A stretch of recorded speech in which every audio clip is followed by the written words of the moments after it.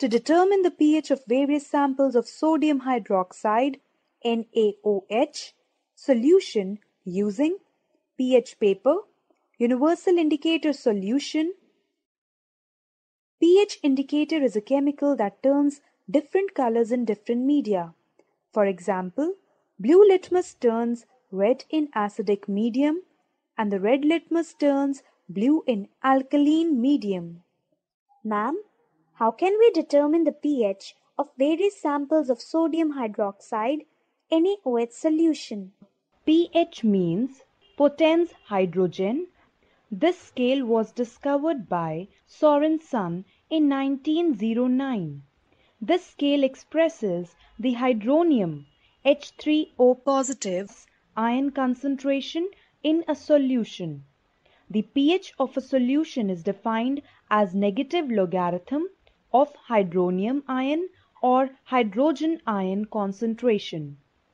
pH is equal to minus log H3O positive or minus log H positive or H3O positive is equal to 1 into 10 raised to the power minus pH.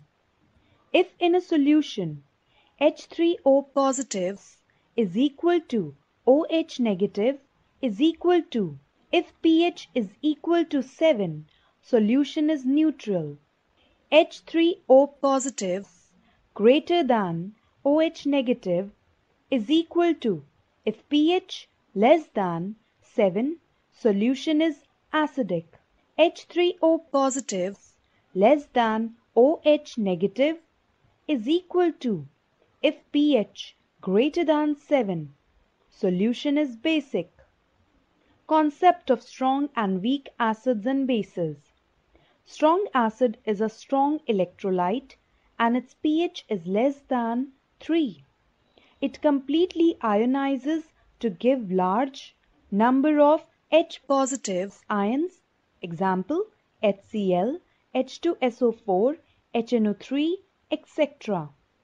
Weak acid is a weak electrolyte and its pH is more than 3 but less than 7. They weakly ionize in water. Example H3PO4 H2 CO3 H2S CH3 COOH. Strong base is a base whose pH is greater than 11.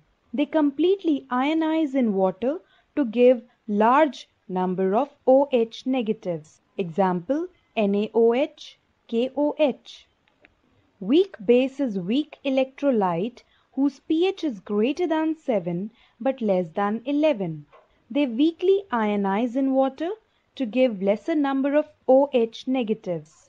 Example NH4OH, carbonate, bicarbonate, phosphate, etc. Let's do an experiment to determine the pH of various samples of sodium hydroxide NaOH solution using pH paper, universal indicator solution. Our aim here is to determine the pH of various samples of sodium hydroxide NaOH solution using pH paper, universal indicator solution. Materials required are Sodium hydroxide aqueous solutions of different concentrations 0.1 m, 0.01 m, 0.001 m. pH paper, universal indicator, test tubes, measuring cylinder, test tube stand, dropper, etc. Procedure Using universal indicator solution Take 3 test tubes and 2 ml of NaOH solution in each of them. Keep them in test tube stand. Now add 2 to 3 drops of universal indicator in each test tube and note the color and mark in the observation table. Using pH paper, mark 3 pH papers as A, B, C and add 2 to 3 drops of each sample on the pH paper using dropper. Note the color change and mark the pH value in the observation table. Observation. Sample number.